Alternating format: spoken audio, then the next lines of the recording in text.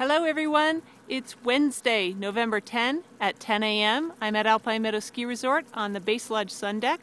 Alpine Meadows received seven and a half inches of new snow at the base area last night in addition to the snow we received this weekend.